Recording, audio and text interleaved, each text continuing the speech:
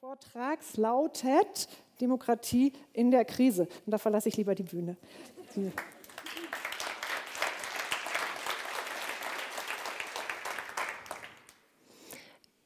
Wie sieht der ideale Staat aus? Dieser Frage wollte ich nachgehen mit 500 Schülern aus der 10. und 11. Klasse im Philosophiefestival in Köln vor einigen Jahren. Dazu machte ich mit ihnen ein Inselexperiment. Sie sollten sich vorstellen, Schiffbrüchige zu sein aus verschiedenen Ländern, die auf eine einsame Insel kommen, die sehr stark vom Klimawandel bedroht ist. Erst sind sie erleichtert, dann stellen sie fest, dass die Regeln der Heimat nicht mehr gelten des Zusammenlebens und wissen nicht weiter. Sie diskutieren, es gibt viele Meinungsverschiedenheiten und die Frage ist, welche Regeln brauchen wir, um zusammenzuleben? Wie können wir Gewalt und Konflikte verhindern? Und was haben Philosophen zu diesen Fragen gesagt? Ich war sehr erstaunt, als ich feststellen musste, dass über ein Drittel dieser Jugendlichen ungefähr sagte, die Welt geht sowieso unter. Ähm, was gehen mich die zukünftigen Generationen an? Die kenne ich doch gar nicht. Lasst uns wenigstens noch ein Weilchen gut leben.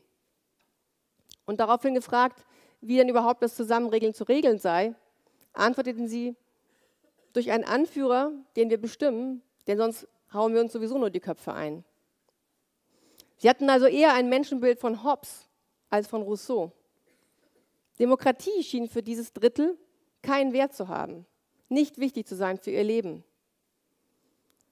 Unwillkürlich musste ich mir ein Bild in meinem Kopf vorstellen, wie diese Jugendlichen in ein paar Jahren auf der Insel sind und zusammenleben. Und dieses kam mir in den Kopf. jedenfalls eine Gesellschaft, die ich meinen eigenen Kindern, zehn und sechs Jahre alt, für ihre eigene Zukunft nicht wünsche.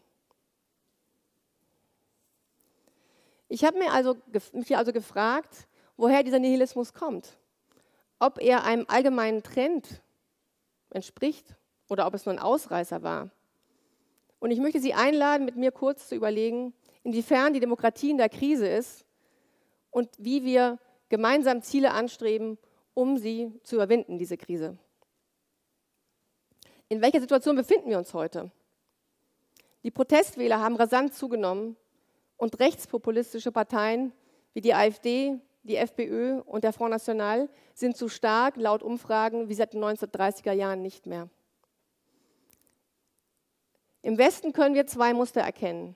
Entweder Demagogen werden an die Macht gewählt, wie in USA, Ungarn, Türkei und Polen, oder die Politik versteckt sich hinter technokratischen Fragen und verliert an Volksnähe, so wie die Regierung in Deutschland und in Großbritannien. Die Demokratie ist in der, in der Krise.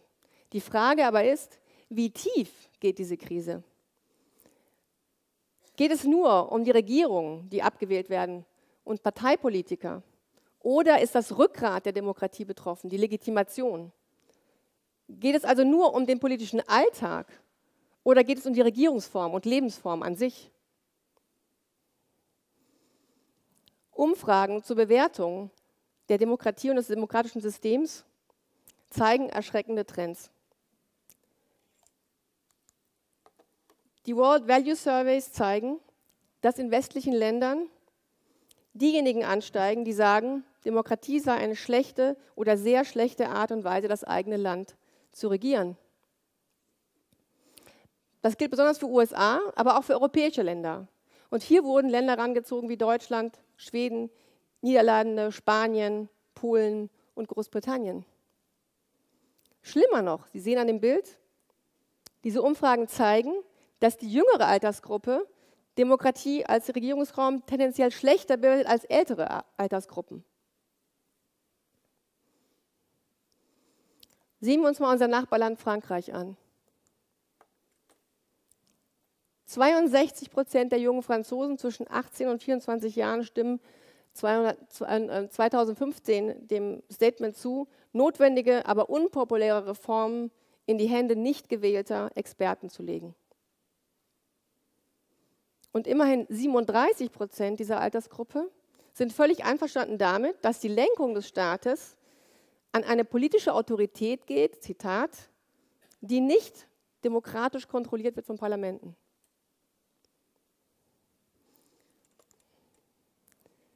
Demokratie ist also kein Aufzug, der einfach nach oben fährt. Bis jetzt haben die Politikwissenschaftler geglaubt, dass Demokratien, wenn sie sich einmal etabliert haben, sich einfach weiterentwickeln positiv. Historisch gesehen ist es auch der Fall, bis auf einige Ausnahmen, die wir alle kennen, beispielsweise die Weimarer Republik. Heute wissen wir, dass autokratische Erstarkung möglich ist, dass Demokratien fragil sind und dass der Aufzug auch wieder runterfahren kann.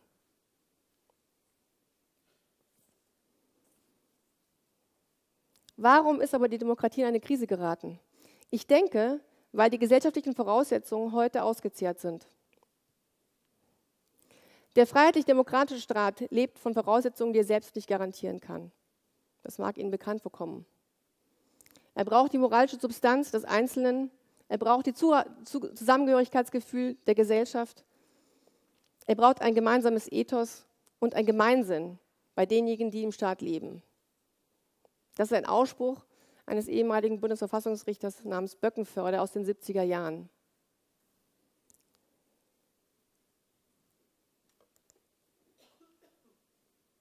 Das heißt, die politische Gemeinschaft, das We the People, ist zersprungen in Gruppierungen und Abspaltungen, die kaum noch miteinander sprechen.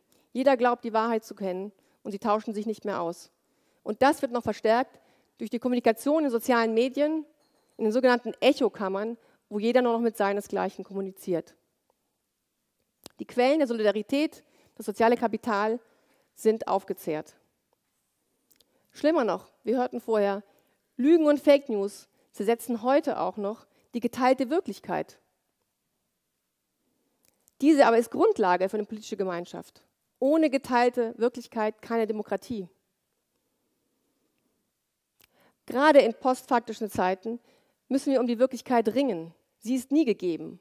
Wir müssen um sie streiten, gerade in polarisierten Gesellschaften.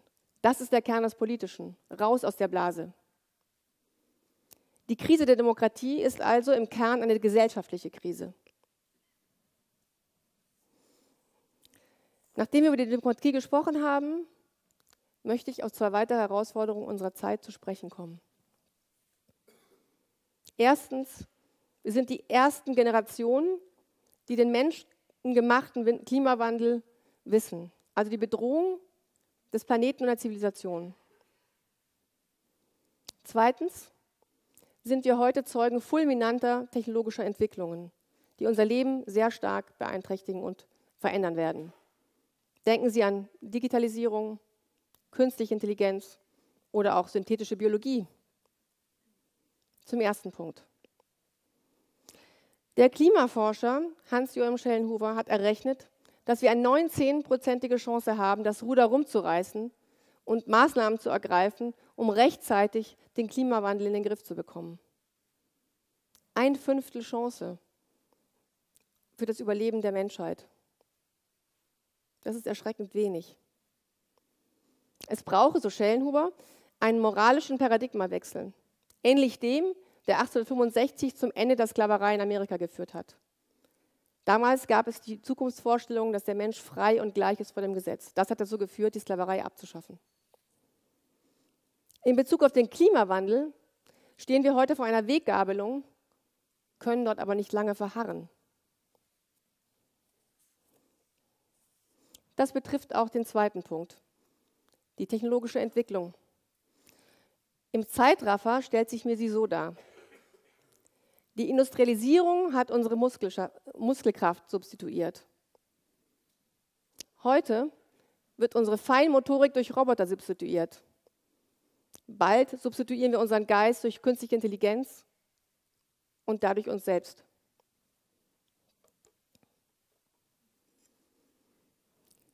Je weniger wir die Krise der Demokratie in den Griff bekommen, desto mehr schreiten Klimawandel und technologische Entwicklungen ungezügelt voran, desto weniger sind sie gestaltbar. Entsprechend hat sich eine gesellschaftliche Stimmung breit gemacht, die den Status quo bewahren will. Alles soll so bleiben, wie es ist. Aber das geht nicht, weil wir sonst vom Klimawandel und der technologischen Entwicklung überrollt werden. Diesen gesellschaftlichen Stimmung entspricht auf fatale Weise ein politisches Aufsichtfahren, ein Schielen auf die nächste Wahl, auf die letzte Umfrage, ein kleinmütiges Aufschieben unseres Handelns weiterwursteln auf Kosten der zukünftigen Generationen.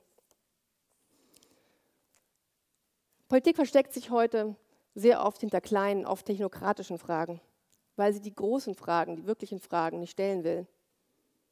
Auch nicht die, die Frage, welche Ziele wir haben, die unser Handeln eigentlich ausrichten sollen. Es fehlt in erstaunlichem Maße an Orientierung, an einem ethischen Kompass. Wir stochern im Nebel. Nehmen wir ein Beispiel der künstlichen Intelligenz. Stephen Hawkins sagt, in den nächsten 100 Jahren werden Computer mit Hilfe künstlicher Intelligenz die Menschen überholen. Deswegen müssen wir schleunigst alles unternehmen, damit die Computer ähnliche Ziele haben wie wir.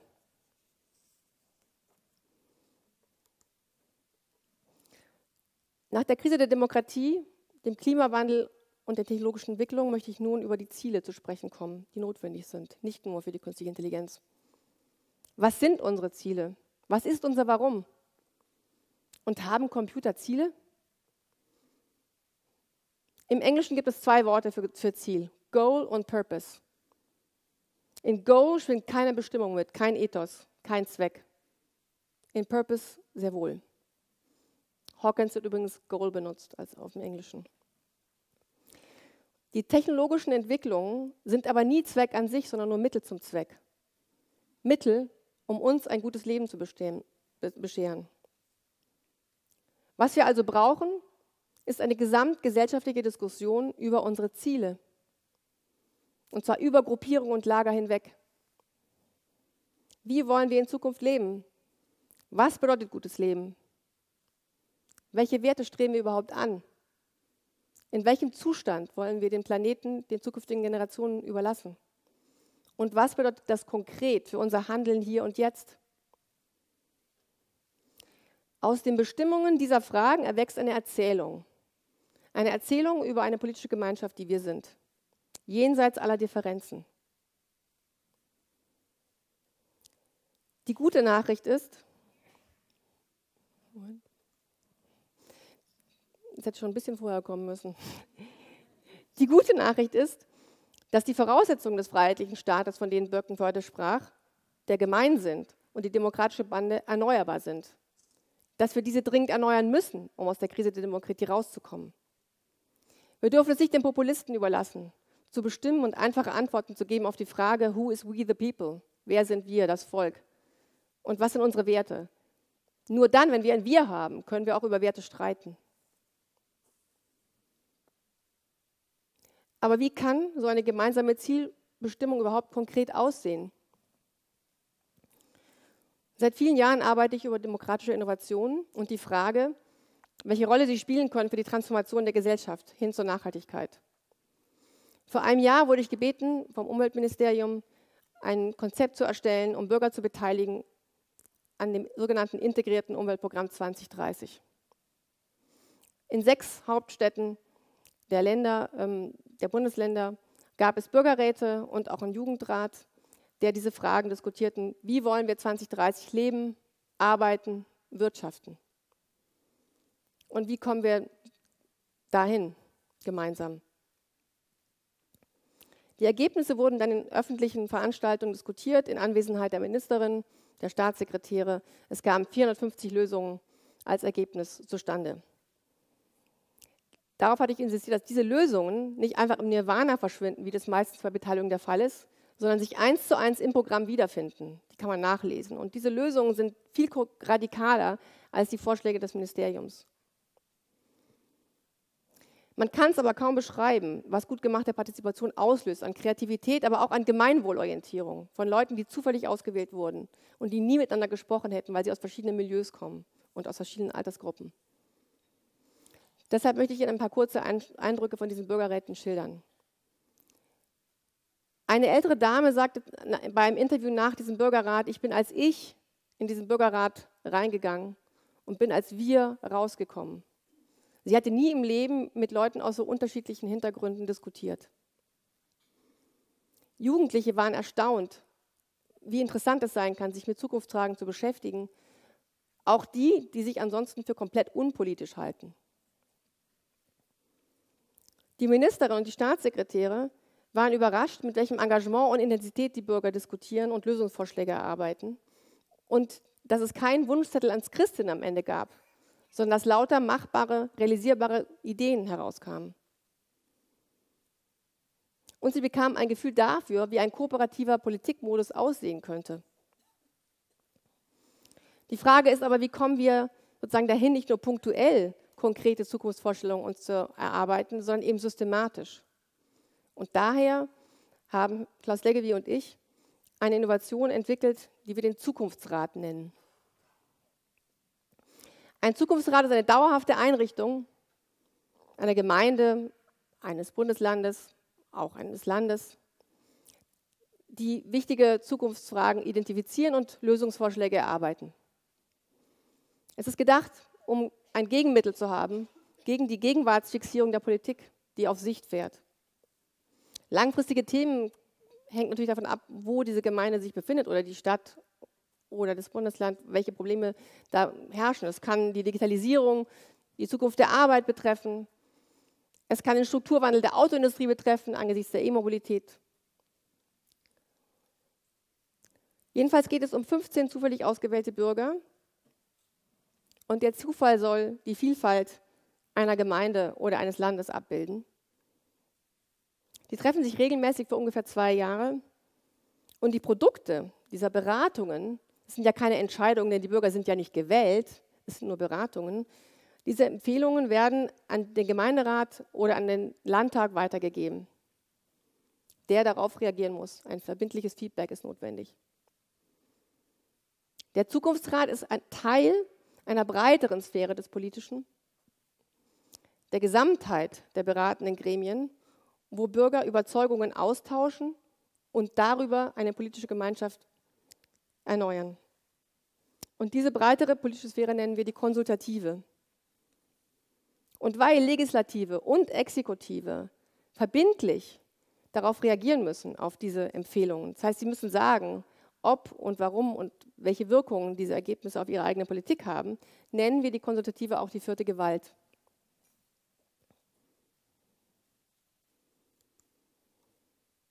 Dagegen ist es so, dass Zukunft für heutige Politik heißt, Schlimmeres verhindern, Wohlstand bewahren, keine Experimente bitte. Einigen aber dämmert, dass es so nicht weitergeht und dass wir Zukunftsvorstellungen brauchen, wie der Politikmodus sich ändert. Seit ein paar Monaten leite ich die Wissenschaftsplattform 2030 für die Bundesregierung und spreche mit ganz vielen Menschen in den Ministerien.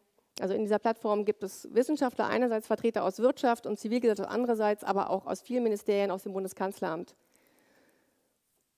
Und vielen dämmert oder haben erkannt, dass der Modus der Politik so den heutigen Herausforderungen nicht mehr wirklich entspricht. Denken Sie an den Klimaschutzplan, der zerrieben wurde zwischen den Ministerien. Viele wünschen sich, dass Nachhaltigkeit im Mittelpunkt der Regierungsarbeit steht und dass es eine Zusammenarbeit gibt zwischen den Ministerien, fachübergreifend. Der Konkurrenzmodus der Politik ermöglicht das aber heute nicht. Das heißt, wir brauchen neue Formen der Entscheidungsfindung, ein kooperatives Betriebssystem. Aber Demokratie war nie in Stein gemeißelt, sie hat sich immer weiterentwickelt. Es ist also eigentlich kein Problem. Wir brauchen aber politische Einbildungskraft. Wir brauchen Zukunftsvorstellungen, wie es anders sein könnte.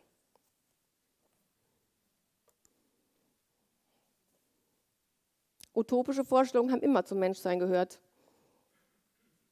in verschiedenen, in den letzten ähm, 100 Jahren bestand Fortschritt darin, die Rahmenbedingungen so zu gestalten, dass unlösbare Probleme weniger schlimm wurden, sagen wir mal. Ein Beispiel hatten wir schon. Die Menschen sollten frei sein und gleich vor dem Gesetz. Und dadurch ist die Sklaverei abgeschafft worden. Ein Paradigmenwechsel. Welche Rahmenbedingungen brauchen wir heute, um Verantwortung zu nehmen für die Zukunft? Um den Klimawandel und die technologischen Entwicklungen in den Griff zu bekommen. Das nächste Mal, wenn ich ein Inselexperiment mit Jugendlichen mache, werde ich sie über die Ziele diskutieren lassen, die sie gemeinsam haben wollen. Darüber entsteht eine Erzählung, wer sie sind und aus dem resultieren dann letztlich die Regeln. Wenn wir also gemeinsame Ziele anstreben und dadurch unsere politische Gemeinschaft erneuern, überwinden wir die Krise der Demokratie. Danke.